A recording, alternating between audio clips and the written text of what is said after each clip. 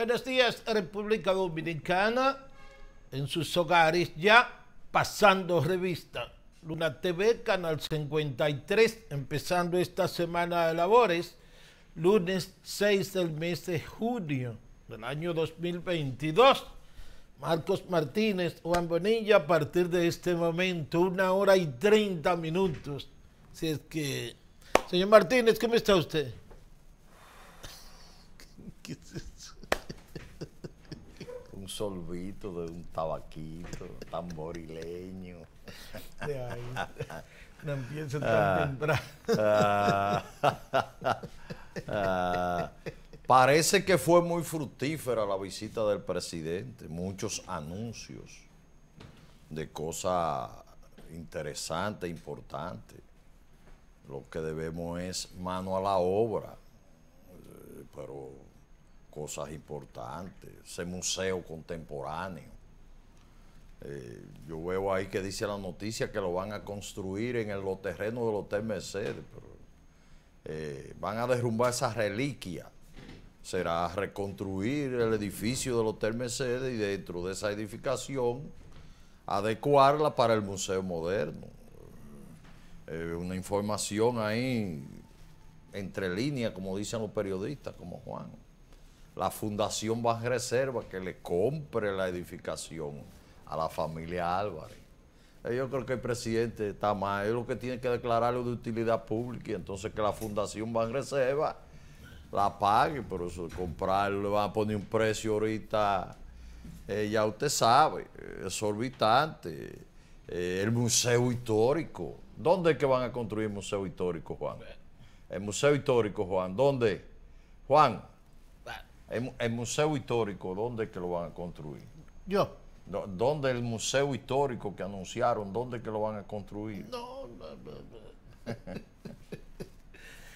Eh, luce interesante todos los movimientos del presidente. Lo que ocurre es que al acumular tantas actividades, en términos noticiosos se pierden muchas cosas. Se pierden muchas cosas porque el cúmulo ¿ah? de informaciones y de actividades. Por ejemplo, eh, una visita de tres días a Santiago de los Caballeros. Las actividades son muchas, entonces eh, es más impactante, eh, tiene mayor cobertura. Si tú ah, haces dos o tres visitas, anuncias tres o cuatro cosas, sí, pero si tú anuncias 20, se pierden la se, mayoría. se- se pierde, se pierde absolutamente todo. Bueno. Entonces fueron demasiadas cosas, demasiadas, demasiados movimientos, pero todavía a las 2.30, ah, casi a las 4 de la tarde todavía estaba en el Gran Almirante. Es decir, eh, desde el viernes a las 10 de la mañana, 11 de la mañana, que llegó a la Unión Médica. Entonces, ese cúmulo de actividades hace que sea imposible para los medios de comunicación darle cobertura a todos los movimientos y decisiones, medidas del presidente de la República. Entonces, eso le quita efectividad eso le quita efectividad. Es decir, hay muchas cosas verdaderamente interesantes, pero ¿cómo? Ni siquiera leer la agenda en un medio de comunicación te llevaba 15 minutos y los medios de comunicación andamos muy rápido. Entonces, eh, muy fructífera la visita, pero eh, en términos generales uno no puede detallar No hay. no se puede detallar todas las cosas.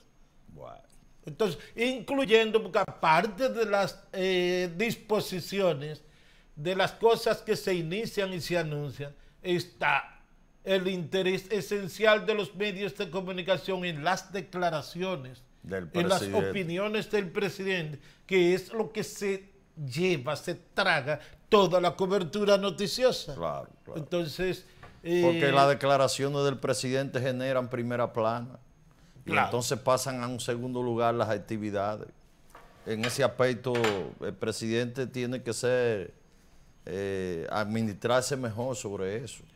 Él tiene que estar consciente que si él va a una provincia, a un conjunto de actividades como fue el caso de Santiago pasado fin de semana. Declaraciones de él de temas nacionales le tumban la presencia noticiosa de él en la provincia que esté. Él tiene que administrar eso. El presidente aparentemente está decidido. No han salteado los caballeros, sino eh, parece que es una visión con relación a los museos. Inició el museo eh, presidente Horacio Vázquez en Tamboril. Pero es una, es una obra que tiene 100 años reclamándose. Eh, se está instalando, aunque eso no es un museo, se está instalando ya confirmado el Archivo General de la Nación en la Independencia con Sabana Larga. Este museo de arte eh, moderno eh, en la 30 de marzo, esquina Máximo Gómez. Ese es el Hotel Mercedes. Es decir, que en ese aspecto eh, eso es una contribución a la cultura y a la educación. Pero se habló de, se habló de, un museo histórico en la calle del Sol. La pregunta mía, ¿dónde es? En el Palacio Consistorial. Porque una de las cosas que tiene que decidir este gobierno en materia culturales es qué va a hacer con el Centro de la Cultura. El Centro de la Cultura ya se está desfasado. no, no es razón de ser los promotores culturales de Santiago se alarman conmigo. Yo digo que el Centro de la Cultura cumplió ya, y que con ese edificio algo deberíamos de hacer. Algo. No tiene suficientes parqueos para tú instalar ahí la regional del Ministerio de Educación, pero alguna salida tenemos que buscarle a ese elefante blanco que está ahí. Y eso perdió. Eso tiene ahí un teatro que ya no tiene razón de ser con el Gran Teatro de Cibao. Vacío, abandonado, sucio, eh, eh, sin actividades atractivas. Ya la gente, porque tú recuerdas que los fines de semana eso era un mar humano ahí, sí, sí, de tantas actividades culturales. Eso dejó, eso no tiene sentido ya. Me llama la atención que no va a haber presidente en el caso de Cienfuego. Eh, dejó inaugurados los trabajos de un colector de las aguas residuales de Cienfuego. Quiere decir que a Cienfuego le van a instalar sistema cloacal, 365 millones de pesos esa obra.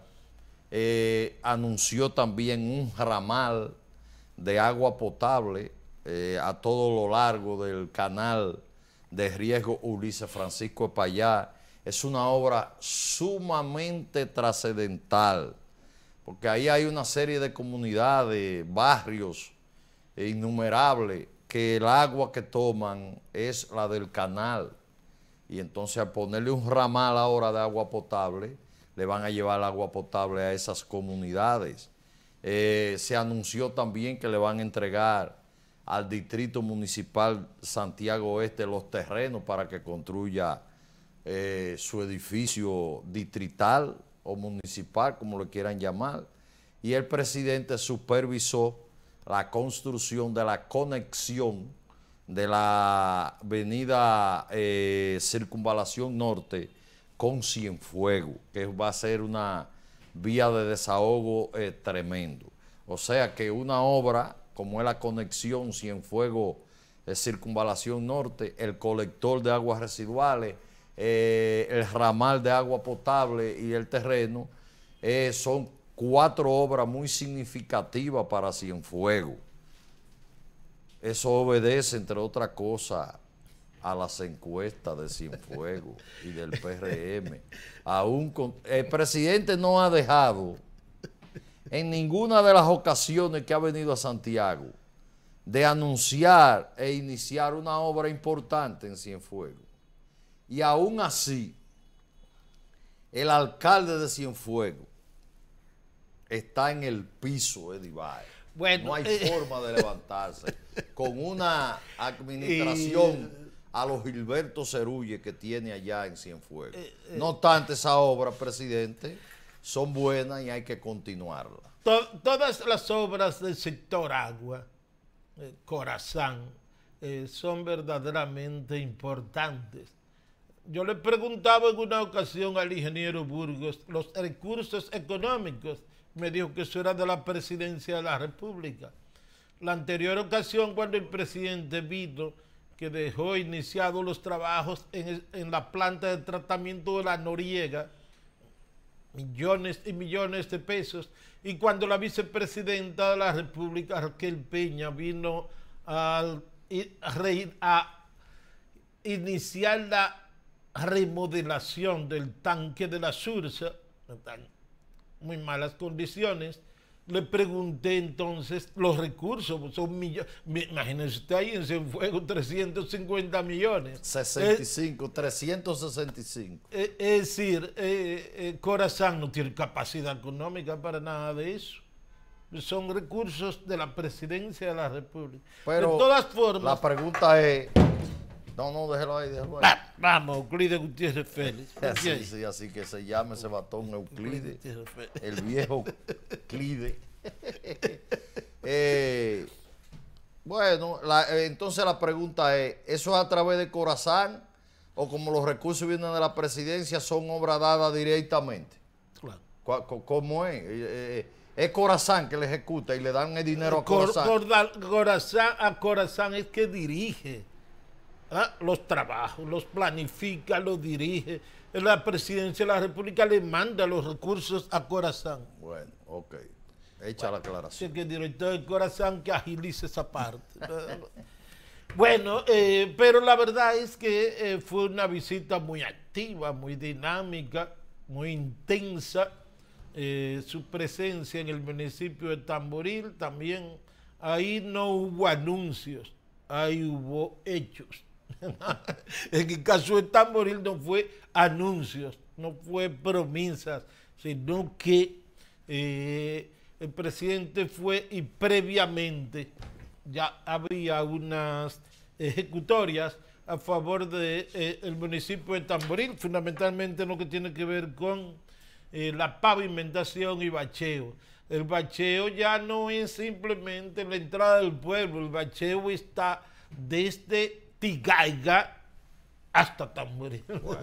el bacheo, estoy hablando, no estoy hablando de la pavimentación. y entonces la controversia es, bueno, la sala capitular de Tamboril fue la calle real que le puso el nombre del doctor José Rafael Abinader. Así es que... Miren, yo creo, yo debo decir lo siguiente. Yo creo que independientemente de que algunos han querido, ah, el papá del presidente, no, no, no, no. José Rafael Abinader es una figura sobresaliente de esta provincia y del país, independientemente de padre del actual presidente. Lo primero es que fue senador de esta provincia. Por tanto, no, no, no, se puede eh, extrañar a nadie que un municipio de esta provincia le ponga una calle su nombre. Pero no cualquier municipio. En ese municipio fue que Rafael Abinader nació y se desarrolló sus primeros años. Ahí fue que su familia se estableció, su abuelo. Porque José Rafael Abinader nació en Tamboril. Luego de ahí entonces ellos se trasladan a Santiago. Eh, siempre tuvo vínculos con ese municipio. Pero José Rafael Abinader es una figura eh, nacional que está inscrito en la historia. Fue de los conspiradores para justiciar a Rafael Leonida Trujillo. En la revolución de abril estuvo del lado de la posición constitucionalista y, y fue ministro del gobierno en armas de José Francisco Alberto Camaño Deñó. Luego en el gobierno de Salvador y Antonio Guzmán fue contralor, fue ministro de Finanzas o sea, de toda una figura, su aporte. Esa OIM es un aporte a la educación superior que no nació como universidad, nació como un instituto de contabilidad, por eso que se llama OIM, porque eh, eh, quiere decir eh, método, OIM, orden y método, es lo que quiere decir. Entonces, ese nombre yo creo que es muy merecido se respetó la parte histórica. Pues, ¿por qué calle real? ¿Qué es lo real? Lo real viene de la colonia española. Eh, el Parque Real, el Camino Real, es el camino público. Esa calle se llama Calle Real porque era el camino público principal cuando era un camino real, no una calle. Luego vino el progreso Tamborí, eh, se urbanizó Tamborí y se le quedó calle real. Por eso no tiene ninguna significación en términos históricos ni en términos de una figura de la historia dominicana. Sin embargo, se le dejó ahora. Usted quiere señalar algo que lo voy a señalar yo, sin quitarle la impronta, la significación, el merecimiento de que la calle real de Tamborí lleve el nombre del doctor José Rafael Abinader con mérito suficiente para llevarlo, es que la ley establece que para un ayuntamiento designar una plaza, un mercado, un parque, una calle, una reata, con el nombre de un ciudadano, este ciudadano tiene que tener 10 años de haber fallecido. Si es antes de los 10 años, tiene que ser una ley adjetiva. Entonces Luis eh, José Rafael Abinader no tiene 10 años de muerto. Por tanto, el ayuntamiento tenía la facultad de denominar esa calle, pero tenía que enviarla al Congreso. Eso no se hizo, por eso se puede hacer ahora y susanar esa parte que no le quita eh, vigencia, impronta y significación. Esa es la única partecita que yo puedo señalar los diputados del PRM Santiago que lleven ese proyecto, que ese proyecto va a pasar volando por la Cámara de Diputados y por la de senadores ni se diga, y entonces se susana eso para que nadie viene a hablar. Hay gente en la comunicación hablando sandece. Aquí hay calles de esta ciudad que llevan nombre de ideólogo del régimen trujillista y gente que no tiene, no ha aportado nada a la lucha democrática del pueblo dominicano, ni han aportado nada socialmente. Entonces, yo creo que tiene mérito suficiente. Bueno, eh, el último boletín del Ministerio de Salud Pública, el de ayer, ¿ah?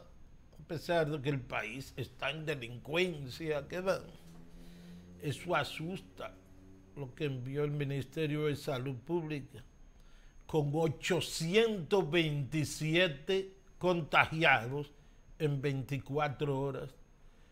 Lo que se está presentando en el Distrito Nacional no deja dudas de que estamos frente a una peligrosa ola de contagios, ¿ah? un rebrote, una sexta ola de contagios pero es prácticamente todo el país. No, no, hay... Dajabón 36, eh, el Distrito Nacional 210, pero Dajabón tiene 37, San Francisco de Macorís tiene 38, Moca tiene 26, La Altagracia 39, La Romana 39, eh, San Cristóbal, eh, San Pedro de Macorís, Sánchez Ramírez, Santiago 68, prácticamente todos, absolutamente todos los municipios en cabecera de provincias eh, tienen un elevado nivel de contagio en este momento. La positividad se disparó a más de 15% en el boletín ofrecido en la mañana del domingo por el Ministerio de Salud Pública, así es que aparentemente sí, yo, nosotros, yo particularmente puse en duda un titular del periódico Listín Diario del viernes que decía sexta ola de contagio. No, pero hoy el, pensaba que no. Hoy el Listín Diario viene por ahí, por esa misma línea. Tiene un titular principal que habla de que hay una ola nacional del COVID. Vino por ahí, ratificó su posición el periódico Listín Diario. Estamos frente a eso. Vámonos con los titulares más destacados, titulares más destacados para esta edición que corresponde al lunes, lunes de junio 7. Vámonos. 6.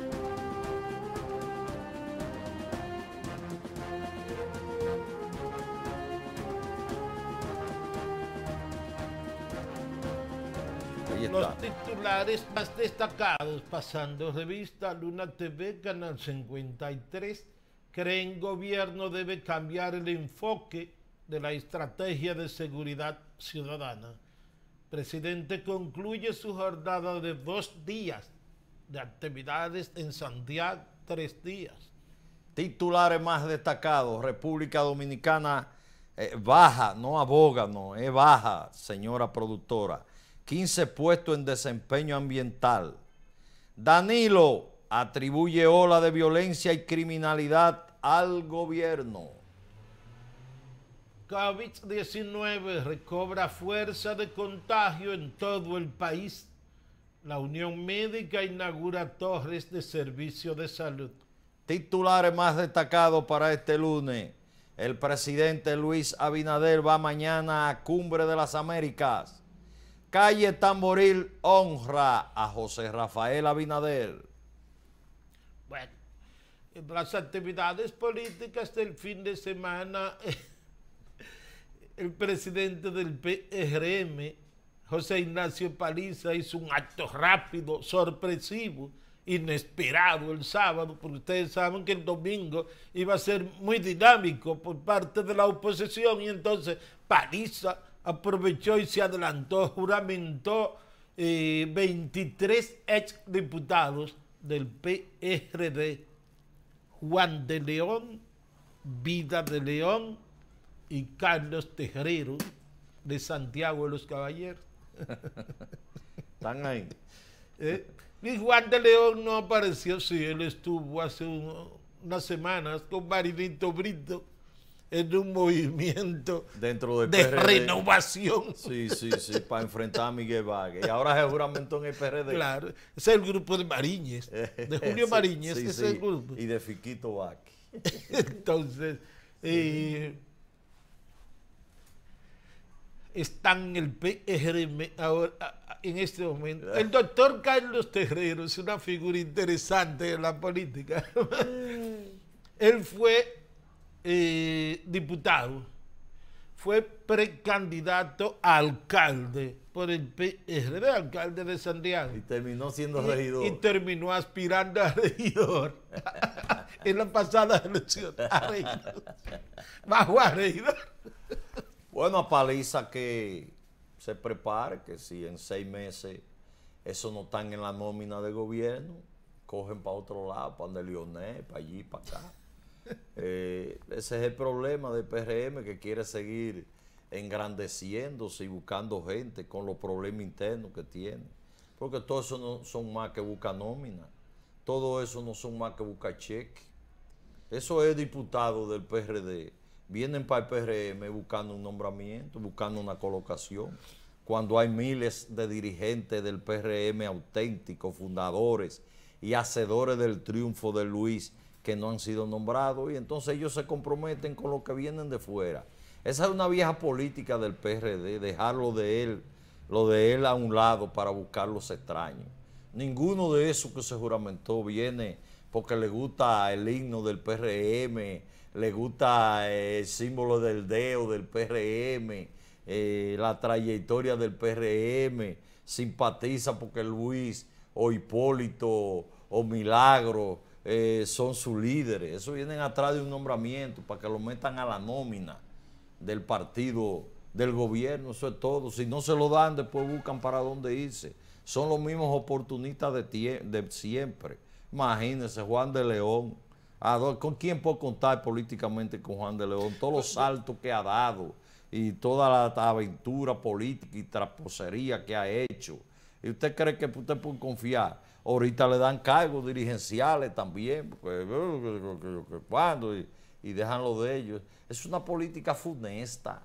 Pero, eh, usted está recogiendo eh, los desechos políticos, eh, gente sin conducta moral, sin conducta política, sin ética, sin trayectoria, sin aporte, gente quemada, gente que pasó su ciclo y usted lo viene a buscar. ¿qué, es eso? En términos políticos, eh, yo veo que están muy reducidos. Bueno, por, por Dios. Eh, es, es, que tú quieres. Entonces yo lo... están muy reducidos en términos eh, como dirigentes políticos. Claro, imagino. Y qué vida. Vida, una buena señora, una buena dama una buena ama de casa. Y ya, eso es vida. eso es doña vida, ya hay que más. A, propósito de eso, Marcos, estuviste eh, también con el PRM el caso de. Este es un caso interesante de Jaimito Santana. Jaimito Santana es hijo de crianza de la ex gobernadora de la provincia de Jabón, Sonia Mateo.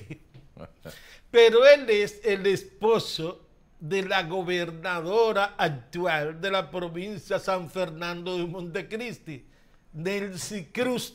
Entonces, en el gobierno de Danilo Medina, él fue viceministro, no, ministro consejero de la embajada en Haití.